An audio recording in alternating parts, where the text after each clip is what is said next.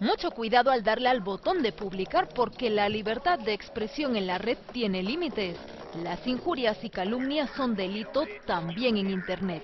Isabel Carrasco se equivocó con el camello y el tiro, en vez de coca, fue de fuego. Pues yo me alegro de la muerte de Isabel Carrasco. El día que muera Aguirre, monto una fiesta. Publicar estas frases puede llevar a su autor al juzgado si lo denuncie el ofendido. Es lo que llamamos delitos privados, es decir, eh, por mucho que quisiera el Ministerio Fiscal no puede de oficio iniciar acciones, tiene que ser la propia persona agraviada la que mm, ejerza directamente acciones frente a la persona que está atacando su honor. Si la persona no actúa, pues evidentemente poco pueden hacer las fuerzas del orden, ¿no? En este sentido. El Ministerio Fiscal solo podría actuar ante ofensas al rey o a menores de edad, de ahí que los anuncios del ministro del Interior tras la muerte de Isabel Carrasco tengan poca trayectoria. Tenemos una de las legislaciones más avanzadas del mundo para proteger nuestros derechos en los medios en general y en la red en particular. Rastrear todos los tweets de forma masiva resultaría poco eficaz. Son los usuarios los que regulan el funcionamiento de las redes sociales eh, y yo creo que los políticos tienen muy poco que decir en, en esto. Sin embargo, la red es tentadora para quienes busquen dañar el honor mediante el anonimato. Mucha gente cree que escondido detrás de un seudónimo todo vale, y tampoco es así.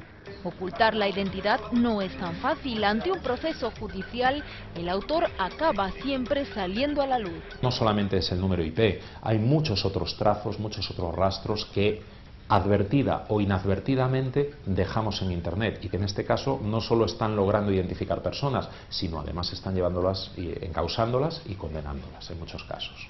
Y cuidado con lo que retuiteamos. Reproducir en la red un mensaje injurioso también conlleva responsabilidades. Si es una injuria, ahí sí es distinto, porque evidentemente un insulto es simplemente emitir una opinión, una opinión de, vamos a decir así, eh, bueno, que agrava, eh, que daña gravemente el honor de una persona. Por tanto, el retuiteo se podría considerar también una modalidad de injuria, ¿eh? de colaborar en la difusión de esa injuria. Solo en el caso de las calumnias se mitiga esta responsabilidad porque el usuario no tiene cómo adivinar la veracidad de la información.